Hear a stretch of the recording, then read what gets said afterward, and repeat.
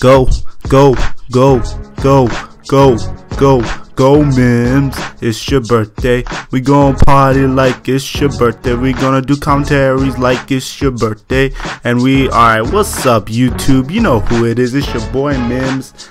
And I'm coming at you guys with my final decision. Who am I gonna do Create a Legend with? Is it Hasheem Thabeet or Quincy Miller? It's Hasheem Thabeet.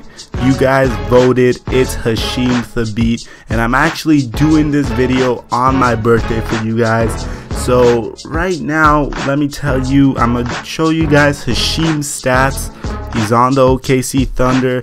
He is at the very bottom of the rotation so we're gonna have a lot of building to do not to mention that I'm using SP so it's gonna be really difficult to bring him up to speed.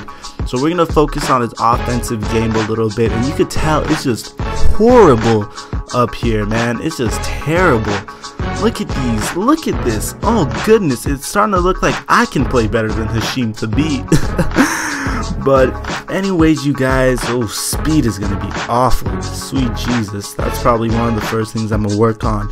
But let me know what you guys think about this decision.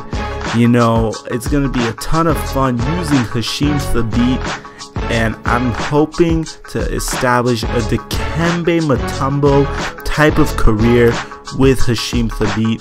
If you like this video, you guys, please be sure to thumbs it up. It is my birthday after all. That's the least you could do. If you can comment on the video as well, that's even better. Besides that, you guys, it's your boy Mims, and I'm signing out. Peace.